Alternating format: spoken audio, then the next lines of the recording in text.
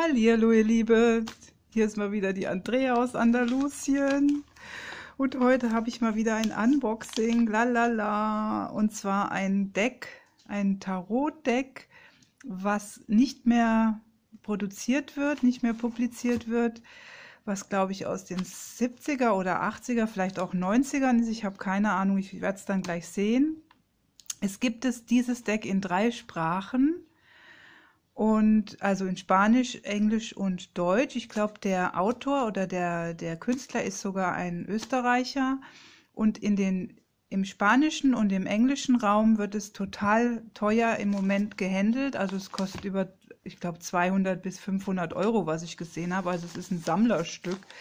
Und auf dem deutschen Amazon habe ich es jetzt für 4 Euro irgendwas gefunden, also knapp 5 Euro. Und ich hoffe, dass... Ähm, dass dann auch das nicht nur das Buch ist, weil manchmal passiert das, es stand zwar mit Deck dabei, aber manchmal passiert es tatsächlich, dass dann auch nur das Buch ähm, verkauft wird. Aber das ist also dieses Kartendeck. Kartenset steht hier. Und zwar ist das das Universal Tarot von Max, Maxwell Miller und ich bin durch Zufall drauf gestoßen weil ich mir in der Bildergalerie von Google, da kann man ja auf Bilder gehen, mir ein Tarot angucken wollte, also was ich mir eventuell bestellen wollte und dann bin ich irgendwie auf, da wurden Bilder von diesem Tarot angezeigt. Und ich glaube, es ist, ich weiß gar nicht, ob es gebraucht ist oder ob es, ja, es ist gebraucht. Super gut, dann brauche ich nämlich keine, ähm, dann hoffe ich nur, dass das jetzt, dann ist es wahrscheinlich auch nicht sortiert. Dann werde ich es wahrscheinlich sortieren müssen erst. Also, das ist das Universal, das Universal Tarot von Maxwell Miller. Das ist vom Heine Verlag. Ähm, und esoterisches Wissen. Ich weiß gar nicht, ob es diese Verle Verlage überhaupt noch gibt. Das ist die Box. Ja. Ähm, und das Tarotdeck des globalen Bewusstseins. Da, früher hatte man das ja so gesagt. Hier steht jetzt aber gar nicht drauf. Guck mal, das ist noch für D-Mark verkauft worden, für 29,90 D-Mark. Ach, wie lustig. Also ist bestimmt aus den 90ern. Hier steht jetzt nicht drauf, von wann es ist, auf der Rückseite. Das Universaltarot ist ein neues Tarotdeck, das seine Inspiration aus Religion und Mythologien der ganzen Welt bezieht. Genau, das fand ich nämlich spannend, weil es nicht nur auf die Kabbala hier jetzt äh, gegründet ist, was viele Tarots hat, sondern wirklich aus der ganzen Welt und bezieht auch indisches, glaube ich, mit ein und nordamerikanische äh, Sachen und äh, weiß nicht, ob australische noch dabei sind, aber verschiedene Christentum, Islam, Buddhismus, Taoismus, der Indianer, der Schaman, der Ägypter, der Kelten, hier steht's ja. Der Kabbala, der Astrologie sind hier zu einem neuen faszinierenden Ganzen verschmolzen. Der Künstler Maxwell Miller hat die vertrauten Bilder der großen und kleinen Arkanen im neuen Licht eines globalen Bewusstseins interpretiert, das die verborgene Wahrheit in den unterschiedlichen äußeren Formen erkennt. Die entstandene Synthese spiegelt das erwachende Bewusstsein des neuen Zeitalters und spricht Intellekt und Intuition gleichermaßen an. Das finde ich gut, weil, wie ich ja so oft sage, das sage ich ja auch oft in, ähm, habe ich ja jetzt auch bei dem Neumond-Reading gesagt, dass es wichtig ist, dass man intuitiv ist, aber eben den, Intellekt, äh, den, den Verstand eben auch nutzt, zusammen mit der Intuition. Ja, wunderbar. Da bin ich jetzt mal gespannt. Ich hoffe, dass es ähm, auch wirklich vollständig ist. Das kann natürlich bei solchen ähm, Decks, die dann schon gebraucht sind, sein, dass die nicht vollständig sind. Okay, dann haben wir hier erstmal das Buch. Ähm, das sieht genauso aus wie die Schachtel im Endeffekt. Da gucken wir jetzt mal rein, aber es sieht eigentlich ganz neu aus. Vielleicht ist es gar nicht gebraucht. Hm. Vielleicht haben die das früher nicht mit so viel Folie eingepackt. es ist von 1995. Ja, also nicht ganz so alt, wie ich dachte. Es hat eine schöne Aufgliederung hier. Hier werden nämlich die ganzen, die kleinen Arkanen werden nur unter den Farben aufgegliedert, aber hier die einzelnen Karten werden einzeln, also von der großen Arkanen werden einzeln aufgeführt. Dann gibt es noch hier eine kleine Einleitung zur Entwicklung. Diesmal ist alles auf Deutsch, das ist ja richtig entspannend. Die Struktur des Universaltarot, normalerweise habe ich ja immer alles auf Englisch. Guck mal, der hat die auch umbenannt. Das Verlangen zum Beispiel, das ist die Lust bzw. die Stärke wahrscheinlich. Das Karma, das gefällt mir gar nicht, weil ich glaube ja gar nicht an Karma. Also Karma existiert für mich nicht, sagen wir es mal so. Ähm, das ist wahrscheinlich das Schicksalsrad. Nee, das Karma ist, äh, ah, das Karma ist die, die Gerechtigkeit. Ah, klar, logisch, macht ja mehr Sinn. Naja, würde auch zum Schicksalsrad passen. Dann die Offenbarung finde ich auch besser als das Gericht. Wobei ich weiß gar nicht, ob das im Deutschen heißt es vielleicht immer Offenbarung. Vielleicht habe ich es falsch übersetzt immer das Universum. Dann gibt es hier noch verschiedene Legungen. Also nicht viel drin, aber das reicht ja. Und ich finde, die, das Buch hat eine schöne, also fühlt sich gut an. Gucken wir mal, wie er hier erklärt. Er, er, redet von der 7, von der Zahl. Das finde ich gut. Also ich glaube, der geht auf alles ein. Das finde ich cool und kurz und knapp. Und er hat ein Schlüsselwort immer nur für eine Karte. Das ist bei dem hier Mut. Ich weiß gar nicht, ob er die dann auch auf den Karten hat. Bei der 6 der Stäbe ist es Erfolg. Das ist spannend. Es hat auch nicht so viel Text zum Lesen, das Buch. Also jedes, jede Karte hat einen richtig schönen Text, wo alles erläutert wird. Ähm, bei den großen Arkanas hat er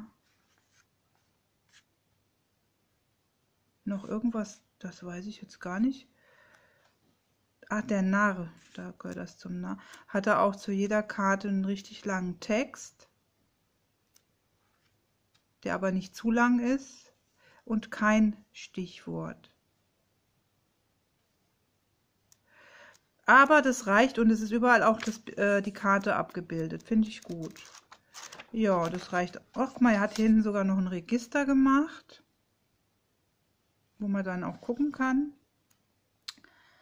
Ähm, Anmerkungen, Danksagung. Oh, und hier hat er noch die Zuordnung von, was, was die, die Zuordnungen. Ast der Stäbe, die Kraft des Feuers, zwei der Stäbe, Mars im Witter, also die astrologische Zuordnung, das finde ich ja toll. Das finde ich ja klasse.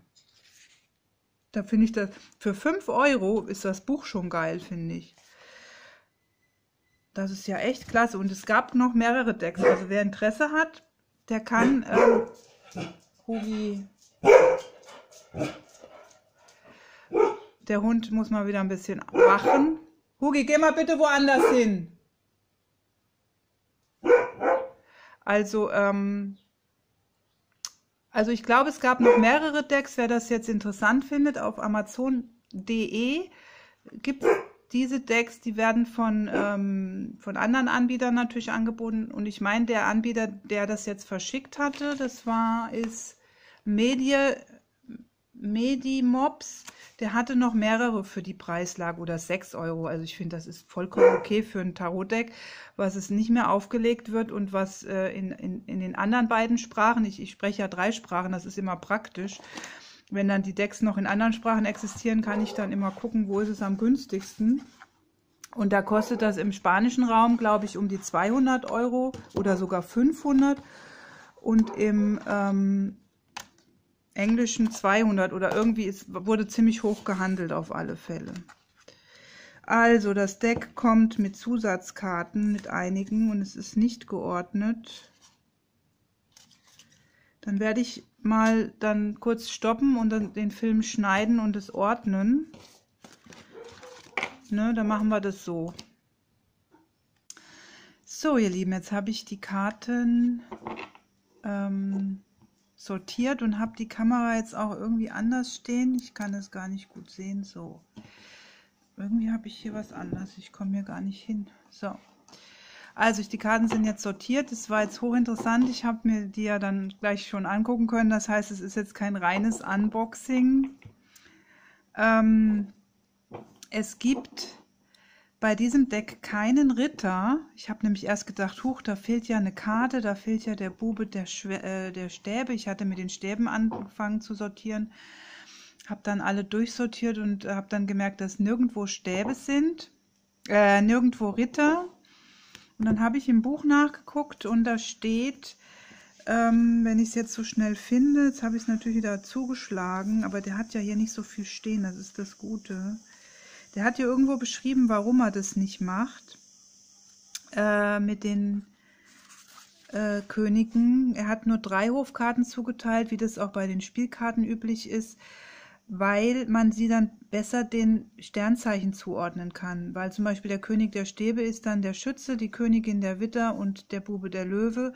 Und wenn es äh, vier Hofkarten sind, geht das nicht. Und ich finde es eigentlich auch ganz gut, weil die Spielkarten haben ja auch nur Bube, Dame, König. Und mein eines Deck, was ich habe, das, ähm, das äh, Illuminated Tarot, wenn ihr euch erinnert, das ist das hier, das, das, das verwende ich ja öfters, ne? wo auch die großen Arkanen in die kleinen Arkanas ein, äh, direkt mit drin sind teilweise. Ähm, die haben auch keinen Ritter. Dies, das sind eigentlich hier auch reine Spielkarten. Die kann man eigentlich auch als Spielkarten verwenden, da dieses Illuminated Tarot. Weil die Arkanen ja auch noch die großen in die kleinen integriert sind und die bestehen dann, glaube ich, nur aus 52 Karten. Ne? Und die haben hier jetzt halt, das, das Universal Tarot hat nur 52 statt 58, glaube ich, waren es, ähm, kleine Arkanen, ja, statt 56. Und ähm, ich finde es eigentlich gut.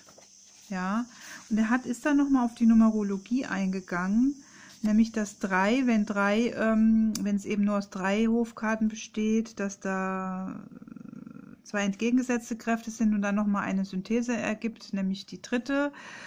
Und wenn es dann vier sind und der, die drei Heiligkeit Vater, ähm, von Vater, Sohn und Heiligem Geist würde damit auch ausgedrückt. Und mit der vier ist es halt anders. Und ich ähm, finde das eigentlich einen guten, guten Ansatz. Ich habe mir das jetzt natürlich nicht komplett durchgelesen.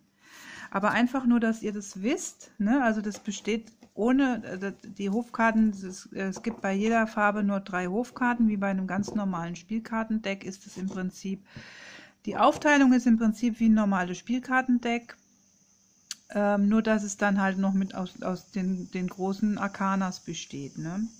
Finde ich eine coole Geschichte. Das Deck ist hochinteressant und auch diese unterschiedlichen Symbole, die ich jetzt gerade auf den Karten gesehen habe. Also ich glaube, ich muss mich da dies, auch bei diesem Deck genauso wie bei dem äh, Tarot for Elements, das hier ne, hatte ich ja neulich die Legung jetzt am, am vorgestern, die Neumondlegung, da habe ich sie auch wieder verwendet. Da habe ich auch das Buch komplett durchgelesen. Und das werde ich bei dem jetzt auch machen. Was heißt komplett? Ich habe da nicht alles gelesen, ist ja Englisch, aber der schreibt hier sehr einfach und es ist ja auch Deutsch und der hat nicht viele Texte. Also ich werde mir das wirklich zu Gemüte führen. Und da ist so viel Information drin, die man dann auch für die anderen Tarotdecks verwenden kann, weil er nämlich auf die Numerologie eingeht, auf die kabbalistische Geschichte, auf ähm, nochmal irgendwie keltische Geschichten, auf indische Götter und, und äh, weiß ich nicht, was noch alles für Religionen gibt. Äh, der Schamanismus und hast du nicht gesehen. Also hochinteressant, hochinteressant dieses Deck und ich weiß nicht, warum das nicht mehr aufgelegt wird. Also äh, ich weiß es nicht, weil das ist ein hochinteressantes Deck, gerade für Menschen, die sich schon länger mit Tarot beschäftigen. Ist es eine absolute Herausforderung und auch ein, ja, nochmal so ein Input, mal was anderes, ne? So ähnlich wie das Four Elements Tarot, was ich habe, ne? Okay, fangen wir mal mit den Karten an. Also, ich mache jetzt erstmal die Rücks, also die Karte an sich, ja. Das ist die Rückseite. Die finde ich jetzt nicht so prickelnd. Dieses Marmor gefällt mir gar nicht. Und mir gefällt auch dieses Marmor nicht, was hier am Rand ist, also dieser Rand, weil ich habe gesehen, die Bilder an sich von den, von den Karten, die sind unheimlich schön. Ist zwar eher so eine Collagetechnik, würde ich sagen, aber die, sind, die haben eine schöne Energie, aber dieser Rand gibt dem Ganzen so einen dunklen Ausdruck, finde ich. Also empfinde ich so. Und es hat auch eine sehr, sehr männliche Energie, finde ich, durch diesen Rand. Und auch die Karten an sich, ähm, die Illustrationen finde ich auch recht männlich. Also man merkt, dass das ein Mann gemacht hat, finde ich. Und genau. Also die Kartenqualität ist sehr flapsig, also sehr dünn, aber jetzt auch nicht irgendwie zu dünn. Ist ähnlich wie das hier vom Four Elements, obwohl das glaube ich ein Tick dicker ist. Ja, es ist ein Tick dicker. Also sehr dünne Karten, leicht laminiert, ja, wenn man es vielleicht sehen kann. Es spiegelt hier ein bisschen, aber nicht zu sehr laminiert. Die Karte hier zum Beispiel ist viel mehr laminiert. Ne? Und ja, ich meine, für, vier, für 5 Euro knapp ist es okay. Die, es ist etwas größer wie eine äh, traditionelle Tarotkarte, also bisschen breiter, ein bisschen mehr breiter, aber die Höhe ist die gleiche. Wenn ich das jetzt mit dem ähm, Illuminated Tarot vergleiche, was ja eine sehr große Karte ist, ist es ein Tick kleiner.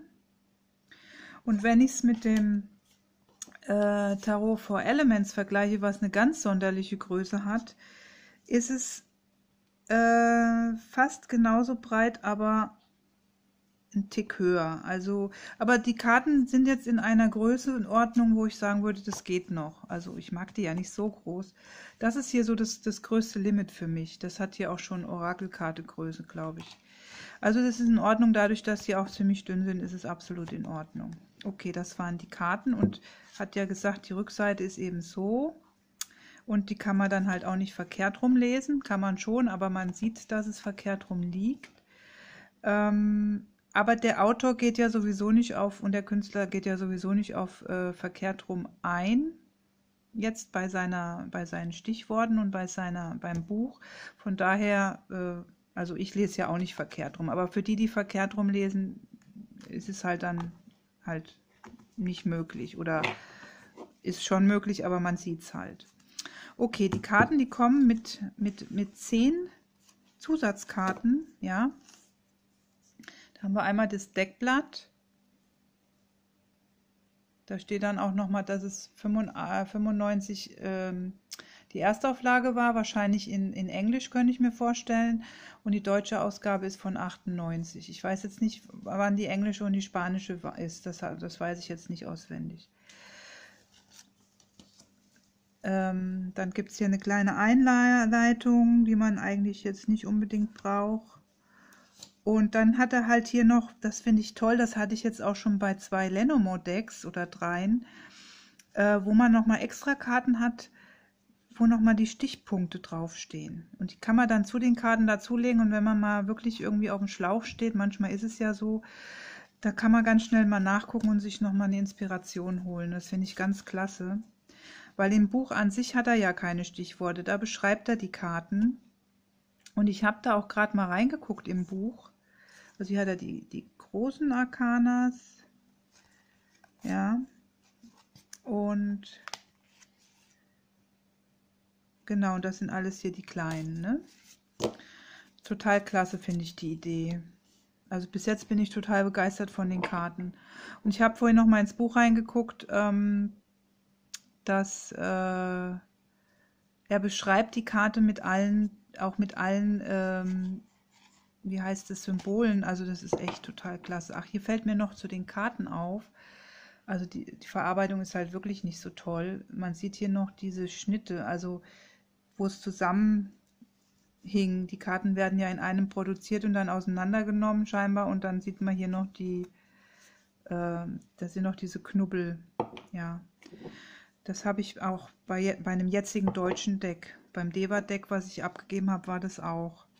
Das nur zur Info, wer da irgendwie pinzig ist, aber ich meine, wird ja eh nicht mehr hergestellt. Ich fände es toll, wenn es eine Neuauflage geben würde, mit einem, vielleicht die Karten nur randlos, ja, ohne Rand und hier unten halt dann die Beschriftung. Das fände ich cool. Ähm, und die Karten dann halt ein Tick, also dann wären sie auch ein Tick kleiner. Jetzt bei diesen Karten ist es so, dann ist hier unten die Beschriftung jeweils. Ähm, bei den großen Arkanen gibt es die Zahl noch dazu, bei den kleinen gibt es keine Zahl. Da hat man dann hier nur Ass der Stäbe oder ähm, 5 der Stäbe. Ne? Okay, dann fangen wir jetzt mal an mit dem Durchlauf. Ich will ja gar nicht so lang machen. Dann haben wir hier den Narren mal ganz anders. Man hat hier ägyptische Figuren und dann hat man hier ein Krokodil und der sieht ja eigentlich eher fast, ist das hier schon fast äh, asiatisch. Also er hat alles wirklich immer durcheinander auf der Karte teilweise. Finde ich echt lustig. Ach ja, und der, der, der Narr hat hier auch noch übrigens die Werkzeuge, die eigentlich auch der, der Magier hat hier, ne? Der Kelch, der Stab, der, wie nennt sich's, das Schwert und die Scheibe. Habe ich bis jetzt auch noch nicht bei einem Narren gesehen. Dann haben wir hier den Magier, der das dann auch alles hat. Wobei, ja gut, das ist dieser Stab mit den zwei Schlangen. Sieht irgendwie aus, als ob er auf einem anderen Planeten wäre. Ganz ehrlich. Und irgendwie ist hier ja auch ein Planet, sieht das auch wie eine Planetenumlaufbahn aus. Die Hohepriesterin, die hat eine schöne Energie. Und durch dieses, dieses Viereckige hier ist das Weiche gar nicht da. Sie hat ja normalerweise eine weiche Ausstrahlung, finde ich immer, aber durch dieses zwei, äh, weiß ich nicht, Formen, die hier so sind, dieses Viereckige, dieses Eckige, hat es wieder äh, eine Struktur, wirkt es wieder strukturiert auf mich. Ja, okay die Kaiserin. Ich gehe gar nicht ins Detail jetzt. Wir schauen uns einfach die Karten an. Der Kaiser. Der Hohepriester, den finde ich hier total klasse. Kein Papst, sondern einfach nur ein Lehrer, der ein bisschen wie Jesus aussieht. Die Liebenden, der Wagen, das Verlangen, also die Kraft, aber ich glaube, das lehnt mehr an den Crowley an, der das ja auch Lust nennt.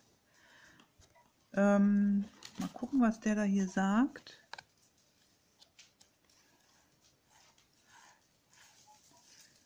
Stärke, Lebenslust, die Natur der eigenen Beziehung zu wünschen und Begierden, die Balance zwischen Unterdrückung und Ausschweifung. Ja, aber Stärke ist halt auch mit drin, aber es geht noch ein bisschen weiter als Stärke. Der Eremit, den finde ich total schön hier.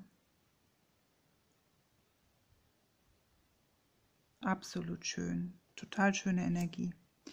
Das Rad des Schicksals.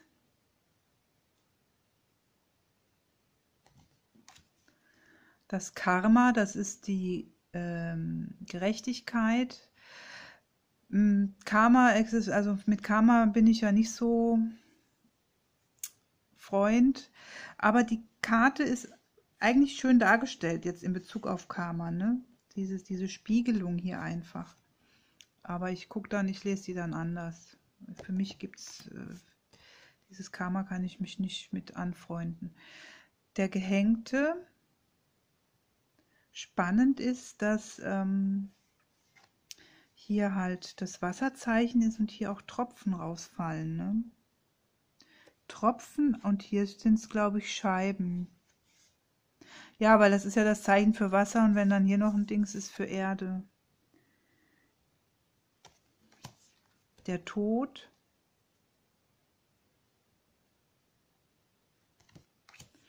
Die Zeit. Das ist dann die äh, Mäßigkeit. Den Teufel finde ich hier klasse.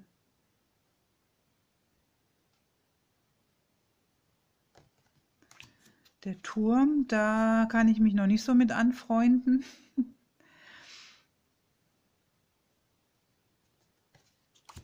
Der Stern.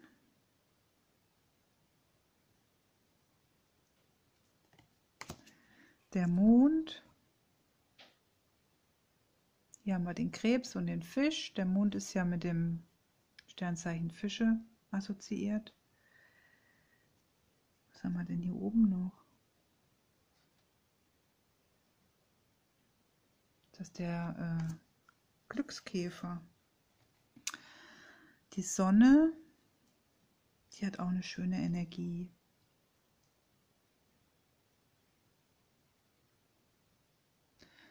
Heute scheint hier kaum Sonne, es ist eher schwül, deswegen ist jetzt hier auch so dunkel und dann wird es immer nicht scharf. Die Offenbarung, sehr, sehr, sehr christlich. Und das Universum, das finde ich so geil, weil dieser Derwisch oder wie das heißt, ähm, der tanzt ja so im Kreis immer die ganze Zeit und ist dann angebunden mit dem Himmel, mit der Erde, mit allem. Ja, das ist ja wie so eine Meditation, wenn der tanzt. Und das passt total gut mit der Erde, weil die dreht sich ja auch im Kreis. Und hier haben wir ja auch einen Planeten, wahrscheinlich den, ähm, den Jupiter. Warte mal, wer war denn das mit dem? Egal, wo ja auch hier so eine Umlaufkreisbahn ist. Und das passt total toll. Und wieder hier, also das, das, ist, das, das ist so eine schöne Karte. Die hat auch eine unheimlich schöne Energie. Ganz klasse. Die Idee allein schon. Okay, jetzt kommen wir zu den ähm, zu den, wie heißt äh, kleinen Arkanen. Das sind jetzt hier die Stäbe und ich finde, die erinnert mich ein bisschen an den Crowley. Das ist das Ass der Stäbe. Sehr, sehr, sehr, sehr kraftvoll. Er arbeitet gerne mit Totenköpfen, habe ich den Eindruck. Der Maxwell, Maxwell Miller. Zwei der Stäbe, total schön, die Karte auch von der Energie. Auch die Drei der Stäbe, die ist ja meine Lieblingskarte im Tarot. Hat eine ganz tolle Energie. Sehr, sehr kraftvoll. Dann haben wir die Vier der Stäbe, die auch eine ganz tolle Energie hat, die ganz, ganz stabil wirkt auf einen. Und wenn man, allein wenn man es dann nur anguckt, obwohl man überhaupt, auch ohne die Zeichen jetzt zu interpretieren eine warme, stabile ja, Energie hat. Dann die fünf der Stäbe, die sechs,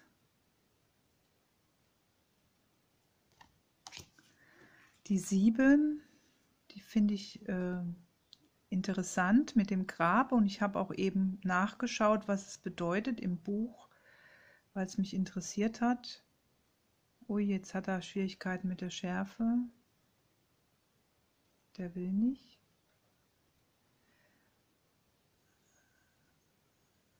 Jetzt. Ne, der will nicht. Also ihr seht es ja trotzdem, es ist ja nicht so detailliert. Die Achterstäbe. Das ist so ein bisschen, ich weiß nicht, australisch. Auf alle Fälle Tribal. Die 9 der Stäbe sieht für mich jetzt eher runenhaft aus. Total schöne Energie auch, finde ich. Und auch die 10 der Stäbe. Total schön. Obwohl die Karte, glaube ich, von der Bedeutung schon ans Eingemachte geht. Und dann war das, ist das Deck jetzt so, im Buch auch äh, ist das Deck so aufgeteilt, dass der König zuerst kommt, dann kommt die Königin und dann der Bube. Ne? Das habe ich jetzt genauso auch sortiert. Der König ist total geil. Der, da merkt man so richtig, dass der Ritter mit drin ist. König und Ritter sind da vereint, habe ich den Eindruck. Und äh, drei Könige sind auch mit Pferd und ich glaube, der König der Scheiben ist ohne Pferd. Pferd. Königin der Stäbe Hier sieht man den Witter. Hier sieht man den Schützen. Ne, ist ja Sternzeichen Schütze. Witter und der Bube der Stäbe hat hier das Zeichen für den Löwen und hat hier im Hintergrund auch noch einen Löwen. Ne? Dann kommen wir zu den, As, äh, den Kelchen, das ist das Ass der Kelche mit dem Fisch und einer weißen Taube. Und irgendwie ist das hier für mich die Mondphasen. Das sieht aus wie so die Mondphasen, wobei da ja nur Vollmond wäre, aber naja. Aber auch eine schöne Energie. Wobei das hier wie Blut aussieht. Naja, dann haben wir hier die zwei der Kelche. Auch hier diese Verbundenheit. Da ist der Krebs. Wasser natürlich. Yin und Yang, also Dualität von den Farben her hier. Die drei der Kelche. Absolut schön. Für mich Harmonie, aber auch vorwärts kommen und was Neues. Ähm, und hier haben wir, glaube ich, Samen. Das sieht aus wie Samen. Weil wenn die 3 ist ja eins mehr von der Dualität, das heißt, es kann auch sein, dass das was Neues entsteht, ein neues Projekt oder eben auch ein Kind. Ne? Also die Möglichkeit, sich zu erweitern sozusagen oder was Neues entstehen zu lassen. Vier der Kelche, die ist auch total schön. Und hier haben wir auch lauter Samen. Hier ist das Zeichen für Krebs. Dann haben wir auch den Mond. Hier haben wir ein Hanfzeichen oder was? Ich weiß es nicht. Sieht aus wie Hanf. la la la. Dann haben wir die fünf der Kelche. Die sechs.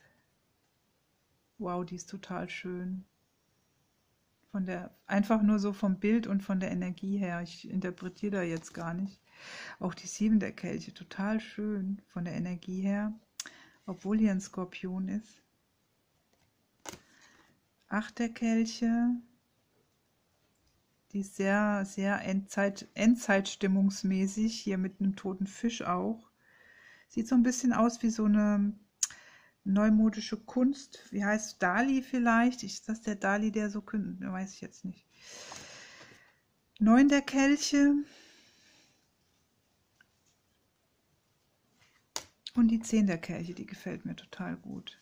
Die sieht aber so ein bisschen aus wie die sieben der Kelche beim Rider White, weil hier lauter so verschiedene wie Wünsche sind. Ne? Wäre jetzt auch mal interessant zu wissen, was im Buch gesagt wird. Ähm, dann haben wir den König der Kelche mit einem Seepferd, also keinem richtigen Pferd, sondern einem Seepferd. Das ist wohl dann ein Kre äh, Fisch, Fisch. Dann haben wir die Königin der Kelche, die Krebs ist. Und wir haben den Bube der Kelche, den ich sehr interessant finde, hier mit dem Skorpion direkt bei den Genitalien. Hm. Ja, und dann geht es schon weiter mit den Schwertern. Das ist das Ass der Schwerter, mit Vögeln auch symbolisiert.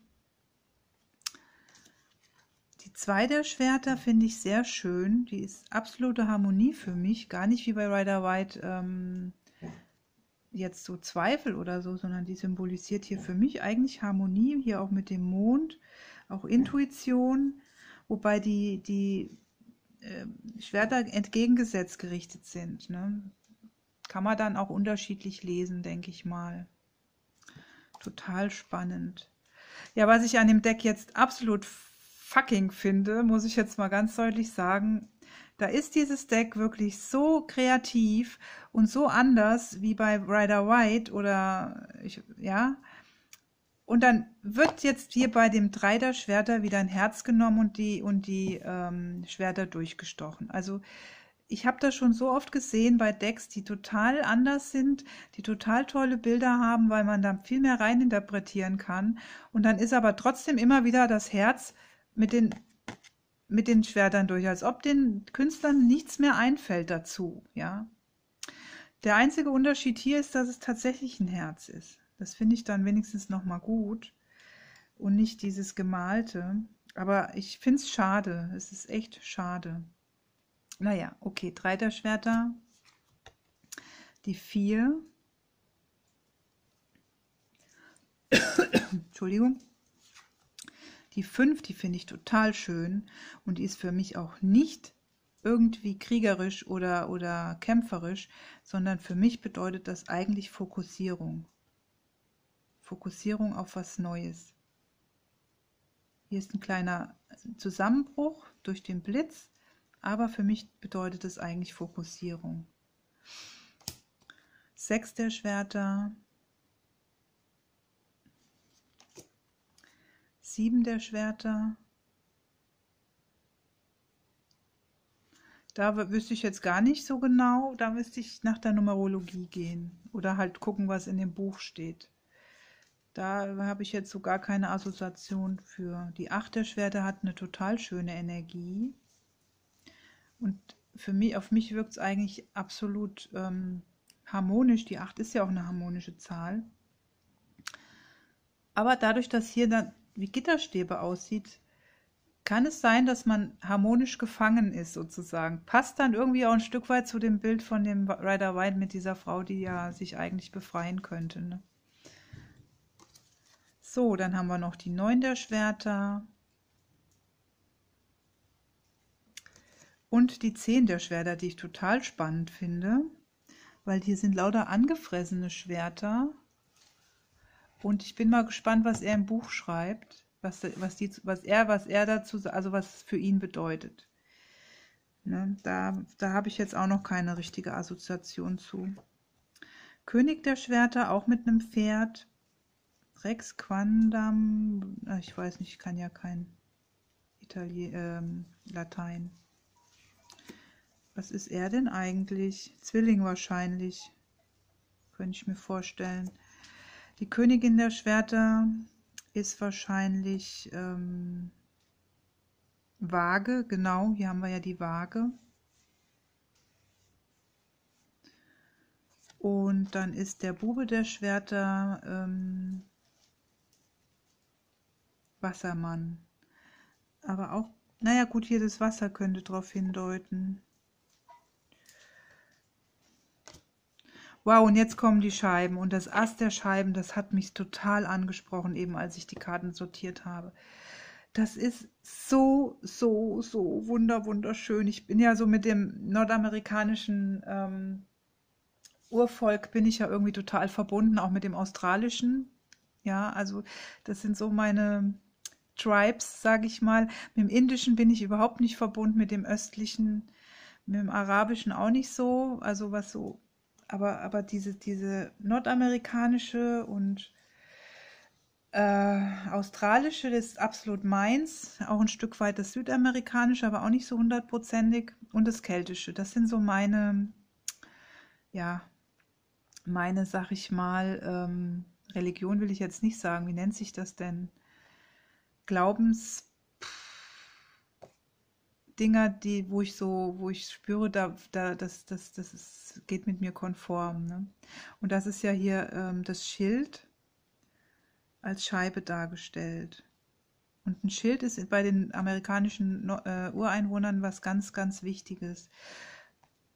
Aber da wollen wir jetzt nicht zu weit gehen. Okay, zwei der Scheiben, die ist auch total schön. Ui, die drei fehlt. Ich habe falsch, falsch sortiert drei der Scheiben,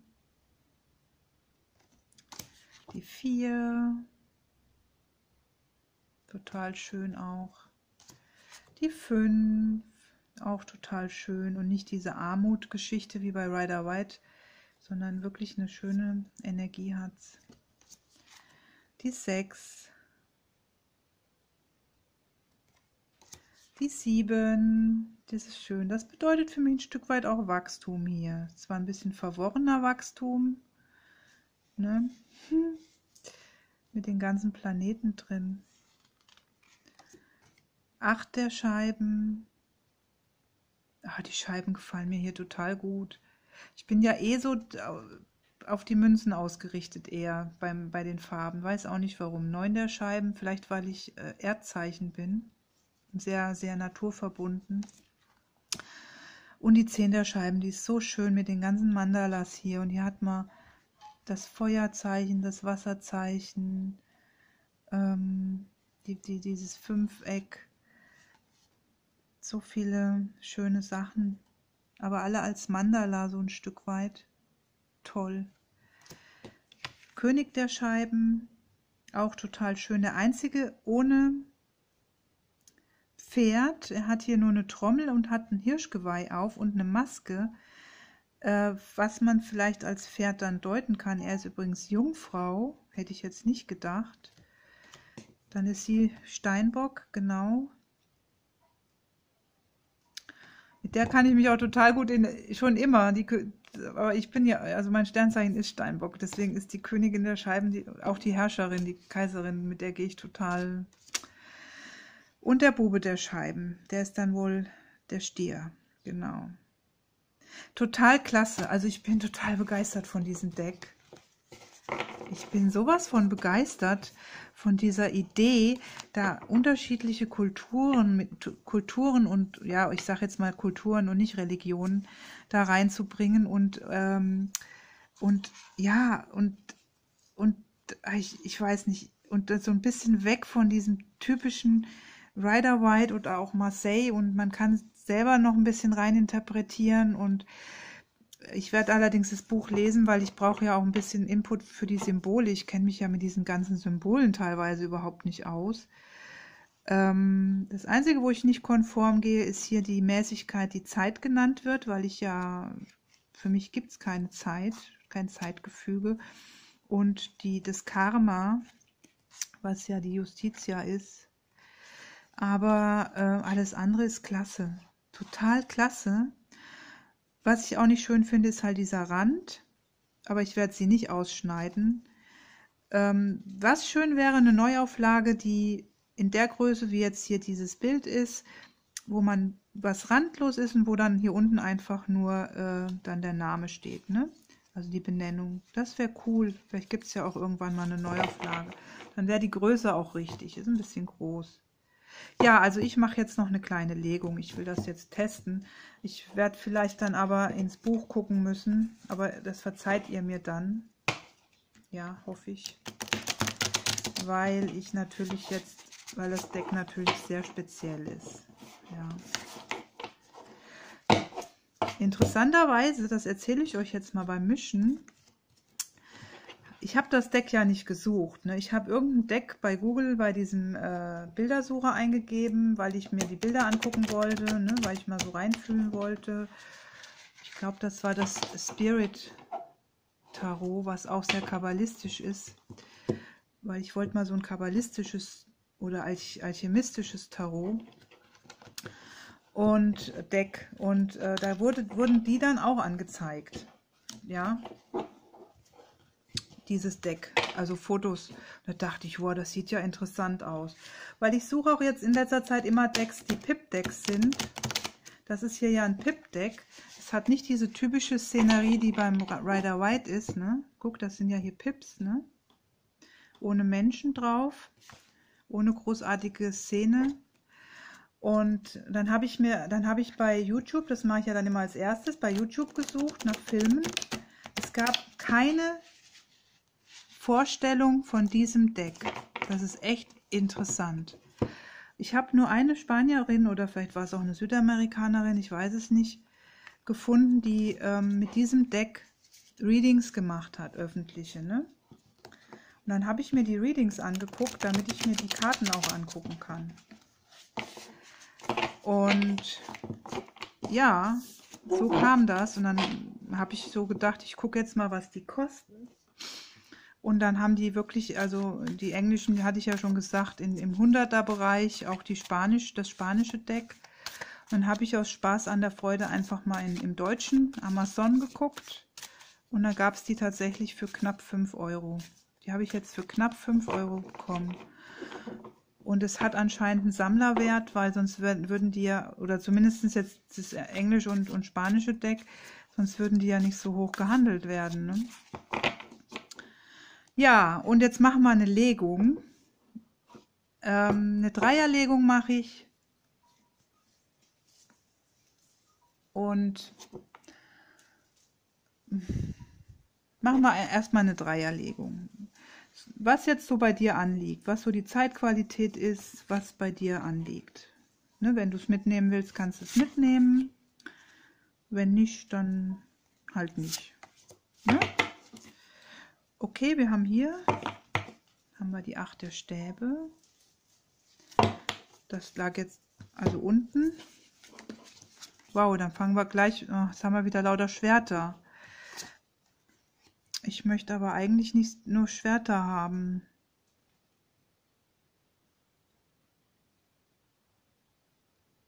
Das ist nicht gut gemischt, sorry. Ich möchte, ähm, ich möchte möchte ja, habe ja auch meinen Spaß, möchte auch meinen Spaß dran haben. habe ich die jetzt nebeneinander rausgezogen. Das Blöde ist, wenn man die natürlich jetzt geordnet hat, dann sind die natürlich nicht mehr durcheinander und ach.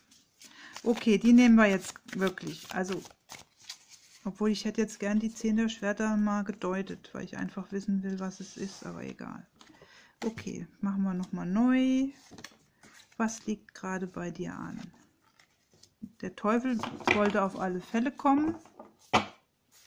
Okay. Wir haben den Buben der Scheiben. Das ist die Hauptkarte. Und äh, das ist ja Erde. Ja. Und als Sternzeichen ist es wohl der, der, ähm, der Stier. Und der Stier ist ja ein ganz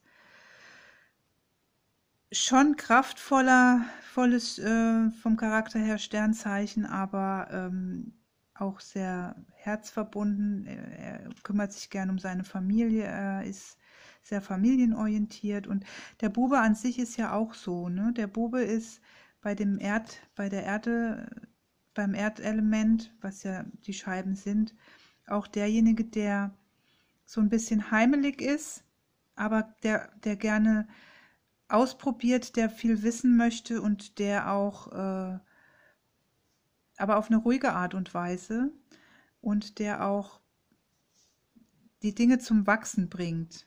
Ja, das würde ich jetzt mal so sagen. Mal gucken, was hier jetzt auf diesen Karten steht.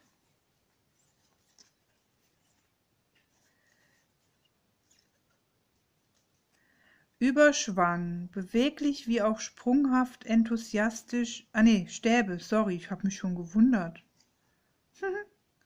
die sind auch verkehrt rum, die gehören ja auch so rum. Ähm, wo ist es denn jetzt? Nee, sechs. Stäbe, Scheiben hier. Ach, der hat die Hofkarten extra gemacht, deswegen bin ich jetzt durcheinander gekommen kommen. Arbeit, Fähigkeiten im materiellen Bereich, große Arbeitskraft, ausdauernd, geduldig, künstlerische Vision, regiert vom Stier. Das, das ist das, was ich eigentlich auch so meine, dass er eben natürlich im materiellen Bereich äh, sich ausleben möchte und aber auch kreativ ist, aber auch neugierig, neugierig, um eben auch sich Wissen anzueignen. Ne? Also es geht auch ein Stück weit darum. Und das ist jetzt so die Grundenergie, dass, ähm, dass du im materiellen Bereich dich, äh, da bist du halt noch irgendwo am Anfang, entweder bei der Arbeit oder, oder weiß ich nicht, in, in deinem familiären Bereich ist irgendein Projekt noch am Anfang, würde ich mal sagen, wo du jetzt dich ausprobieren darfst, wo du ähm, was zum Wachsen bringen darfst, wo du wirklich deine Fähigkeiten einbringen darfst, deine materiellen Fähigkeiten, deine, deine konkreten kreativen Fähigkeiten. Ne? Und das wird jetzt aber von dem kleinen Teufelchen noch ein bisschen behindert. Vielleicht ist das so dein Drang, den du hast. Ja. Vielleicht auch ein Stück weit deine Berufung durchzuleben, weil hier geht es ja auch um die Fähigkeiten habe ich ja gerade gelesen. Ähm, düb, düb, düb, wo war's? Ähm, ja, du hast auch eine künstlerische Vision. Es geht um deine ganz konkreten Fähigkeiten im, im, im, im handwerklichen Bereich, würde ich fast sagen. Also nichts Spirituelles oder nichts ähm, Geistiges, sondern wirklich im ganz materiellen Bereich.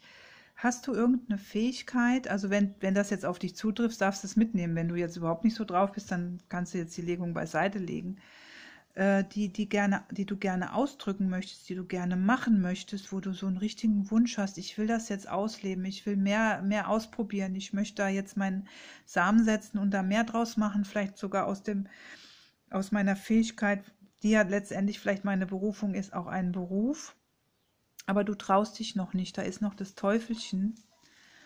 Das äh, klopft hier noch an. Was sagt er denn zum Teufel? Das kleine Selbst oder Ich, das ist ja süß. Das Ego, die Persönlichkeit, Individualität, Trennung, Gespür für das eigene Selbst, Selbstsucht, die persönliche individuellen Bedürfnisse erfüllen, ohne sich mit der Maske des Egos übermäßig zu identifizieren. Das ist toll.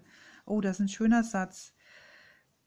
Also genau, hier geht es darum, dass du deine, deine Maske, die du vielleicht die ganze Zeit gelebt hast, ja, die dein Teufel dir, ja, der zeigt dir jetzt irgendwie, du, du, du lebst was, was du gar nicht leben möchtest, nämlich äh, auf der Arbeitsebene im Prinzip. Und dass du deine Fähigkeiten jetzt nach draußen bringen sollst und leben sollst und ausprobieren sollst und vielleicht sogar auch einen Beruf draus machen sollst, also in, in die Arbeit integrieren sollst, weil das sind ja handwerkliche, also ähm, ganz speziell, also ganz irdische Fähigkeiten, keine geistigen. Es geht hier wirklich ums Materielle. Und des, der klopft bei dir an. Der klopft bei dir an, damit du, der, der triggert dich vielleicht ein bisschen, der Teufel, damit du in die Gänge kommst. Also irgendwas liegt bei dir jetzt an, wo du getriggert wirst, wo du, äh, ja, wo du vielleicht auf deine Schatten hingewiesen wirst vom Teufelchen, damit du dich eben traust, damit du das noch bearbeitest und dich, also dieses, und deine Maske ablegst und wirklich das an Berufung und Fähigkeiten lebst, was du letztendlich wirklich, wirklich kannst. Also was vom Herzen her kommt, was deine Fähigkeiten sind. Und die zwei ist auch eine ganz tolle Karte, die habe ich mir nämlich vorhin heimlicherweise mal durchgelesen, weil ich die so schön fand. Ich weiß nicht mehr alles. Auf alle Fälle wurde gesagt, dass, ähm, dass normalerweise bei der Zweier hier die, die, die Schlange oder auch keine Schlange, aber dass hier diese unendliche Acht ist, was Unendlichkeit bedeutet. Hier ist es aber eine Schlange, die nicht keine unendliche Acht ist, sondern die offen ist und die sich wie eine Schlange einfach durchschlängelt. Und diese zwei der Münzen bedeutet Bewegung. Sie bedeutet natürlich auch Dualität, das Helle und das Dunkle. Hier haben wir die, ich weiß gar nicht mehr, wie die heißen, I Ging, äh, I Ging, ähm, ich gucke jetzt mal im Buch, weil ich fand es so spannend. Die Karte hat mich total angezogen. Und vorhin, als ich sortiert hatte, habe ich mir die nämlich durchgelesen. Lustig, dass die jetzt kommt. Ähm, genau, und diese Schlange legt nämlich die Betonung auf die Wellenbewegung im Leben. Ja, es geht mal vorwärts, mal rückwärts, mal ähm, und die können positiv oder negativ sein, die, die Pentakel. Je nachdem, wie man das Bild halt betrachtet. Und das sind die Ging-Zeichen, heißen die genau. Das eine ist weiblich, das andere männlich, Yin und Yang. Ja. Und die Energien stehen sich, also die gegensätzlichen Energien stehen sich äh, im Prinzip gegenüber. Was letztendlich die Möglichkeit zum Fortschritt bedeutet, ja.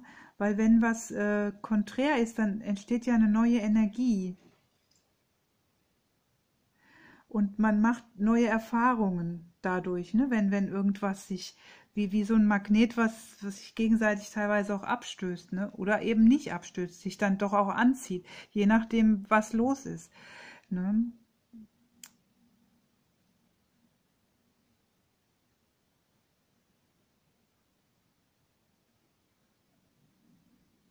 Also das ist die Zeit, um im Fluss zu bleiben, ja. Das ist ja hier der, der Fluss sozusagen. Das ist ja diese Bewegung. Und, ähm, und das, äh, das, das Schlüsselwort, jetzt habe ich es gar nicht gezeigt, ich halte es hier hin und äh, war gar nicht in der Kamera, sorry, ich dachte, es ist in der Kamera.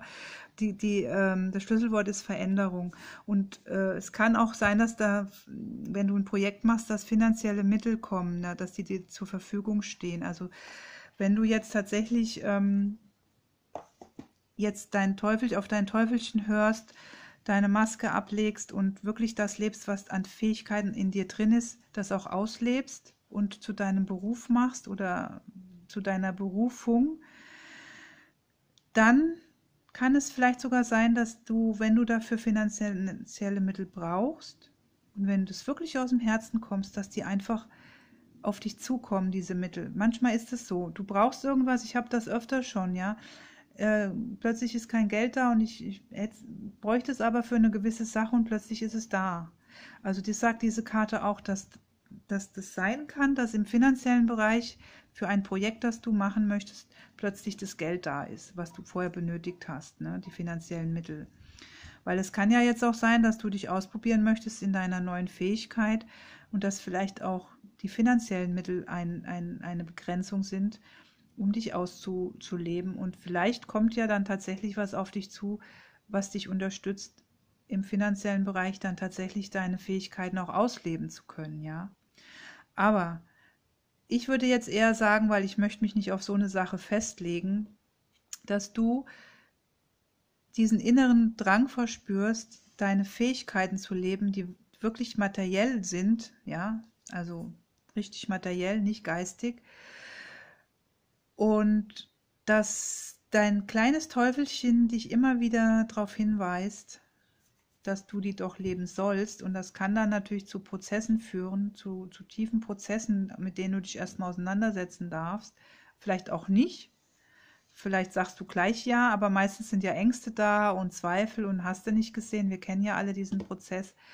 Und deswegen ist der Teufel da. Der, der eckt da so ein bisschen an, damit du diese Ängste bearbeitest und deine Maske irgendwann ablegst und dich traust, deine Fähigkeiten zu leben erstmal auszuprobieren äh, und, und dann immer mehr durch mehr Arbeit dran, äh, sie zu, ver, zu vervollkommnen, sage ich mal. Ne? Man, man, wenn man am Anfang ist, muss man sich erstmal ein bisschen ausprobieren und dann, je mehr du dich ausprobierst, probierst, desto mehr wirst du äh, selbstsicherer in der ganzen Geschichte und irgendwann wirst du es vielleicht wirklich zu deiner Berufung und zu deinem Beruf machen. Und das ist letztendlich hier diese Bewegung, ja. Das sind Möglichkeiten, äh, manchmal wird es vielleicht so sein, dass dann eher alles so geht, also so konträr, ne? dass, dass du dann eben nicht in der Balance bist und dann vielleicht Schwierigkeiten hast. Das ist dann der Teufel, der dann vielleicht aneckt. Und dann irgend, zwischendurch wird es vielleicht auch wieder total fließen, ne? weil dann Harmonie da ist. So würde ich die Karten jetzt deuten und ich rate dir, ähm, guck mal, wir haben jetzt hier bei den wenn, wenn man eine Karte zieht, macht man ja oft auch so, dass man die unterste Karte nochmal liest. Und da haben wir die Königin der Stäbe. Und das ist ja der Witter. Und die Königin der Stäbe ist ja auch ein ganz, also im klassischen Tarot ist sie ja auch äh, Wasser und Feuer. Und sie, hier haben wir ja auch das Wasser. Hier ist ja der Mond. Hier haben wir ja auch noch einen Fluss. Und hier ist die Sonne im Hintergrund. Ja, also sie, das heißt, geh jetzt raus damit. Trau dich, lass es fließen, geh mit dem Fluss hier, die Bewegung, trau dich einfach. Und wenn der Teufel mal aneckt und dir noch eine Angst oder einen Zweifel zeigt, dann geh in diese Angst, geh in den Zweifel rein, bearbeite es und lass es dann los und mach weiter, mach weiter. Deine Fähigkeiten in die Welt zu bringen ist ganz, ganz wichtig. Und die Königin der Stäbe, die sagt dir, tu es jetzt. Ja. Okay, das ist die Legung. Ach, ich finde die Karten so geil. So geil. Und der Film wird eine Stunde. La la la la la la. Aber Leute, der, der, guckt euch doch mal die Karten. Die sind gewöhnungsbedürftig. Also dieser Rand ist halt furchtbar. Aber ich finde die so schön, weil die einem so einen Raum geben für Interpretation und weil dieses Buch allein schon das Doppelte äh, ganz viel wert ist. Diese Informationen, diese in diesen kurzen Beschreibungen ist so viel Information drin, die man noch für andere, die man grundsätzlich für Tarot auch verwenden kann, finde ich. Wenn man so gar nicht mit, mit diesen ganzen Kabal, Kabbala oder was da alles. Ich, ich bin ja ganz, ich gehe ja ganz jungfräulich immer an solche Sachen ran. Ich weiß ja gar nicht diese ganzen Symboliken und so. Das Einzige, was ich weiß, ist ein bisschen Astrologie. Und das Buch allein ist schon geil und ich finde es auch toll, dass es äh, wirklich nicht so geschwafelt ist, sondern auf den Punkt gebracht. Das ist halt wieder typisch männlich, glaube ich. Ich will jetzt ja nicht so in die Archetypen reingehen, aber und dann finde ich noch geil, dass da eben diese Zusatzkarten sind, wo man einfach mal schnell gucken kann. Ja. Ähm, wir standen jetzt eigentlich bei der 2. Veränderung, genau. Gegensätze, Gleichgewicht, finanzielle. Ja, steht ja eigentlich alles, was ich gesagt hat. Also Leute, wer Interesse hat, ich glaube, der Anbieter hat noch ähm, für diesen sehr, sehr günstigen Preis hat er, glaube ich, noch, ähm, das heißt, hat er noch Exemplare? Also auf alle Fälle im deutschen Raum auf Amazon kosten die nicht 100 oder 200 oder 500 Euro die Karten, sondern ähm, auch relativ günstig, also was heißt günstig, aber ich weiß nicht, ob ihr die noch für 4 Euro dann bekommt, aber auf alle Fälle ähm, noch relativ günstig. Dafür, dass es nicht mehr aufgelegt wird ne, und eigentlich schon eine Sammler, Sammlerwert hat im Prinzip. Ne, also ich empfehle die Karten für die Leute, die gerne ein bisschen rumprobieren, die gerne sich ausprobieren wollen, die gerne intuitiv mit Tarot arbeiten wollen. Dieses Deck gibt einem nochmal eine ganz andere Sichtweise, genauso wie das äh, Four Elements Tarot, was ich ja auch total liebe, was einem auch eine andere Sichtweise gibt. Oder das, das ähm, Universal Tarot, was, was auch nochmal anders ist. Ich finde so, solche Tarot-Decks total wichtig auch zu haben und damit zu arbeiten, damit man sich einfach noch viel mehr der Intuition öffnet und, und äh, ja, ich will jetzt gar nicht so viel schwafeln. Okay, danke, danke, danke, dass du mich begleitet hast hier bei meinem Unboxing und äh, für dein Interesse.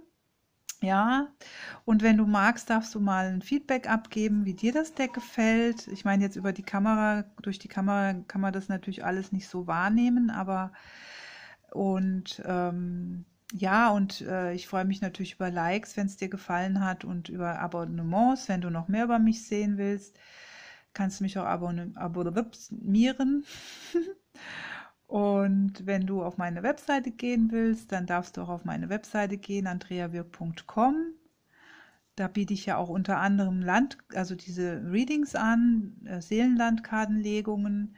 Wenn du gerne mal eine Legung haben möchtest, dann mache ich dir gerne eine. Ich suche zwar immer intuitiv die Decks aus, aber wenn du ein ganz spezielles Deck haben möchtest, was ich auch legen soll, dann mache ich das natürlich auch. Ähm, ich mache große, aber auch ganz kleine Readings, also so Dreierlegungen mache ich auch. Ne? Das kann man dann auch gut über den Chat machen, das muss noch nicht mal auf Film aufgenommen werden.